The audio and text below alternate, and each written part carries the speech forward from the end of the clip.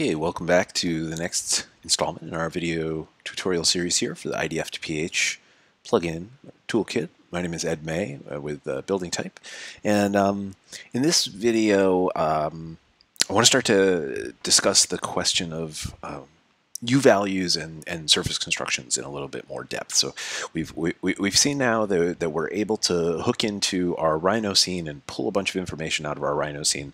Um, we've seen that we were able to easily write to our, our PHPP.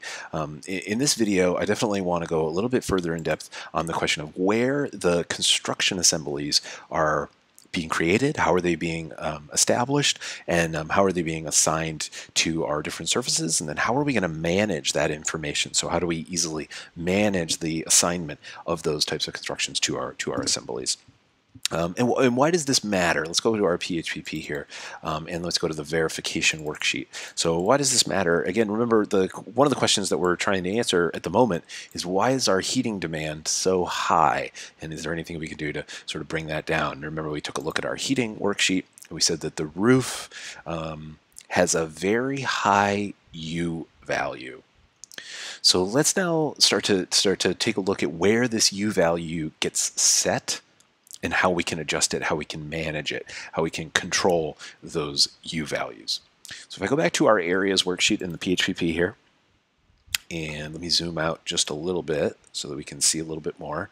So here is our roof. Our roof is on line 42. Notice that it's getting the correct assignment. So we have the right type being assigned. It looks like we have the right area coming in. So the surface area is being assessed properly. And over here in the building assembly list, it's getting an assignment of exterior roof. So exterior roof. Well, we never assigned anything to exterior roof. That's we've never created a material called exterior roof. We've never assigned anything to exterior roof. So what is this? Where is this coming from? And how do we get control over it?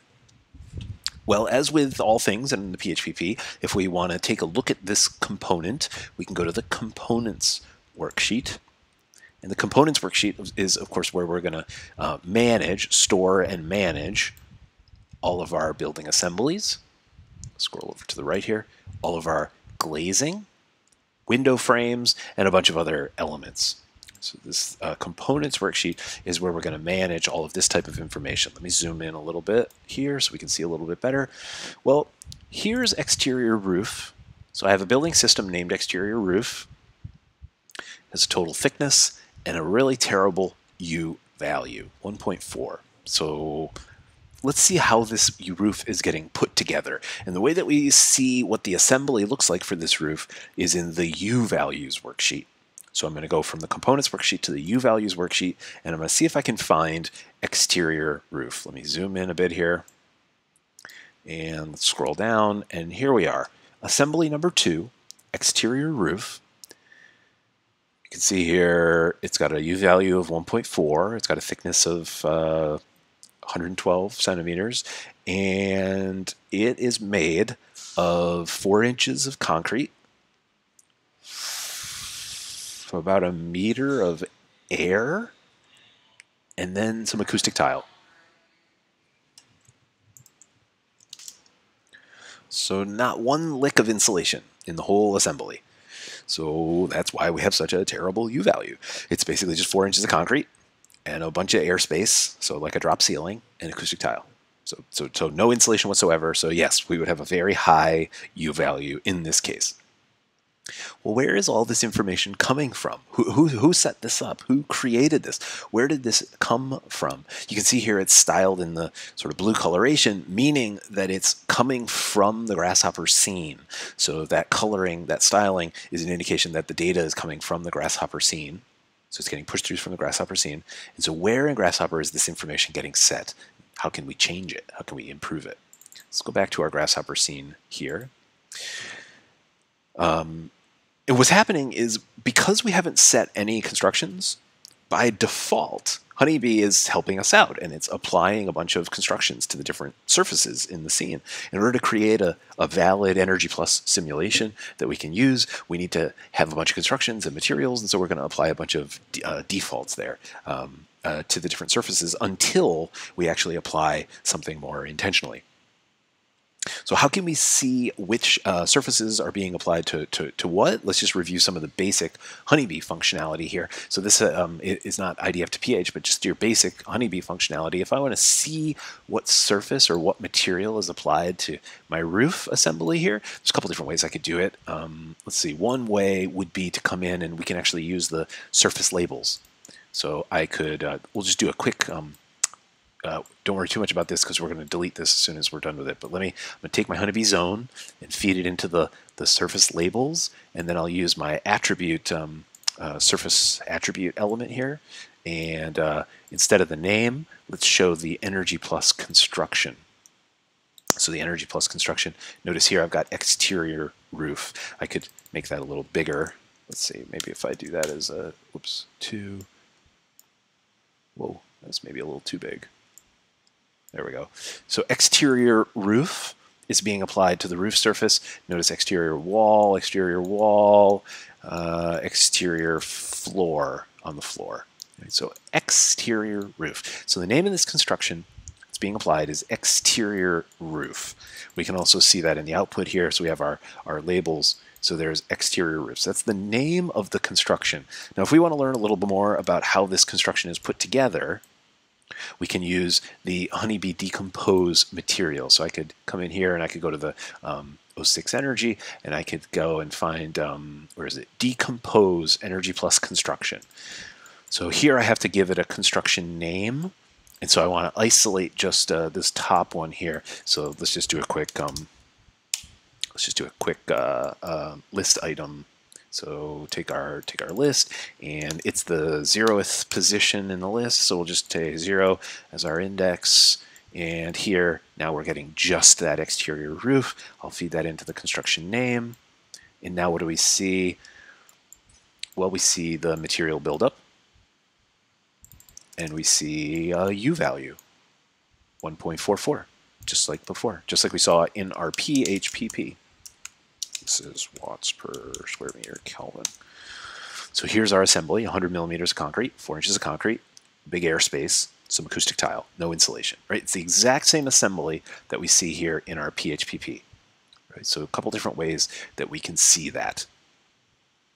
So how then, all right, so if that's our assembly, so this is the construction assembly, it's just a default assembly, how can we apply a better assembly? Well, we can use the basic Honeybee tools. So we can definitely use the basic Honeybee tools to create assemblies just like we always would in our uh, in our Honeybee scene. So let me delete all this. Let me get rid of all that. And we could, if we wanted to, come in here and we could say, let's build a new uh, Honeybee Energy Plus construction. Fine. And let's name it um, Ed's Better Roof. So this will be a better roof assembly. And uh, what else do we need? We're going to need some material. So we need, we definitely need a material. So let's use a honeybee no mass opaque material. So this will just be a really simple no mass opaque material. So I'll plug that into layer one. I've got to get rid of the other layers here. Uh, so we've, we'll, let's just say it's a single layer, and we'll call this, um, I don't know, um, in, we'll just do a simple, a simple one here. So rather than doing a, a you know a, full detailed build up, let's just do a simple one one element construction. So we'll call this um, we'll call this uh, roof build up, and we'll just do the whole thing as one as one element here for for now. Uh, we need to give it a, a, a, metric R value for this to work. Um, and remember, we've got a couple of helpers here. So if you're not familiar with metric R values, if you're in the US uh, and you're more, more used to working in um, IP R values, there are some, some helpers here in the Honeybee tools. So let's take a look at one of those. Or, uh, um, sorry, uh, these are in the Ladybug tools. So in the Ladybug tools here, um, if we go to extra, we have an RIP, an, an, IPR value, to an R value in SI. So we could drop that into the canvas here. And this is just a simple converter. So let's say we want an R38 um, roof assembly, right? Sort of code minimum in, in many parts of the country. And what does that give us for an RSI? It's going to be like an R, yeah, an R6 or so. Right, so just doing a unit conversion there. Let's pass that in to our R value. And this guy is now working. So this is working. It's uh, We're getting a valid energy plus construction out the back end here. It's just a single layer, my build up, better roof.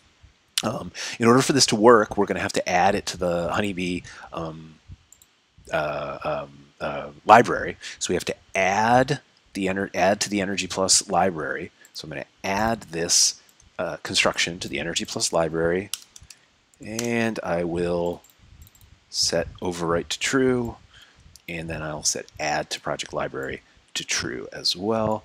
And you'll see here we'll get a um, so Ed's Better Roof is added to the project library. So at this point now I can take my Better Roof and I can apply it as a construction material here. No, it didn't work. What happened here? Uh, oh, right. Um, of course, it needs to be all caps. So uh, the capitalization has to match there. So Ed's, whoops, better roof. Right, so that should work. There we go, and let's take a look at our PHPP. And in our PHPP, Ed's Better Roof is being applied to all of our surfaces. Yeah, so that wasn't really what we wanted. We, we wanted to apply it to just the roof. Um, so to do that properly, I would have to I would have to feed in a list of constructions um, corresponding to the order of the surfaces in the geometry here. So I could either you know I could either uh, use the honeybee. Um, I could, you know, call uh, different uh, elements from the construction library. I could sort of pull out the ones I wanted and sort of combine them together into a list, or I could, you know, just write out the list in, in, a different way, and I could sort of manage it that way. So it's certainly, certainly doable. We could definitely do it this way. We can manage all of our information in the sort of honeybee scene here. Um, that's totally, totally doable. Um, in the next video, I'm going to show you a, a, slightly different way that we can manage it. But let's just let's just check what happened here. So so we did. Let's just see if um, so we did get Ed's Better Roof. Let's go to our um, heating worksheet and see what that did to our, our overall performance. So notice I have a much better uh, U value. My heat loss went way down. And if I go to my verification worksheet now, oh, now we're down at 35. So much better result for our specific heat demand. Um, uh, and so, um, you know, th this, this, is how we would work with this. We would adjust some parameters and keep an eye on our totals here uh, and sort of watch those totals as we adjust different parameters um, uh, in, in these assignments. Now, this isn't great because I've applied that, you know, roof R value to all of the surfaces. So obviously that wouldn't be appropriate. What we want is a better, more control. We want, we want a higher level of detail and controllability. Um, and we want to be able to assign materials or constructions on a surface by surface basis. So in the next uh, video, we'll look at a, a, a, different way of managing this, um, a, a, way that uses parameter assignment back in the Rhino scene again, and we'll look at some, some new tools ar around that as well.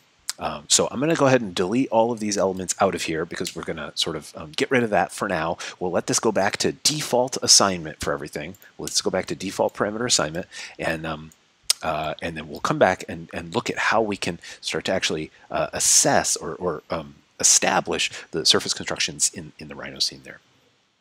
Okay, so I'll see you in the next video.